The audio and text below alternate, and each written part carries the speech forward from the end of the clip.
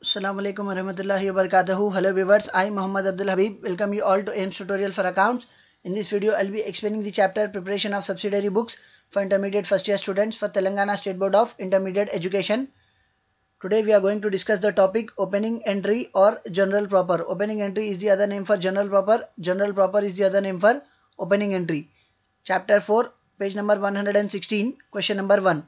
Write the opening entry as on 1st January 2018 from the following.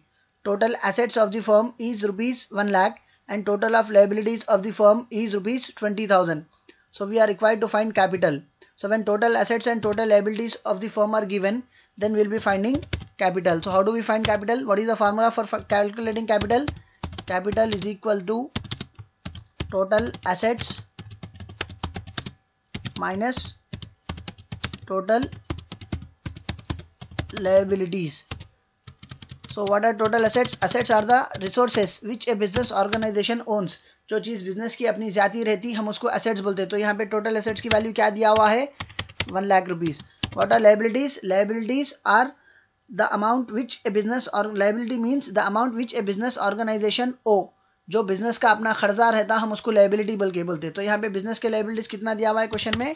It is given as twenty thousand So subtracting total liabilities from total assets 20,000 will be subtracted from 1 lakh we get the value of capital. तो अब यहाँ पे total assets 1 lakh है और total liabilities 20,000 है. So subtracting 20,000 from 1 lakh we get the value of capital as 80,000. So capital is equals to 80,000. Hope you have understood the topic and hope you have liked my video. If you like my video, do subscribe to my channel AIMS Tutorial for Accounts.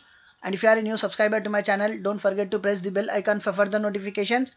Do like my video, post your valuable comments and do share it with your friends, relatives and all. Your one share can help someone to learn something. See you all in next video.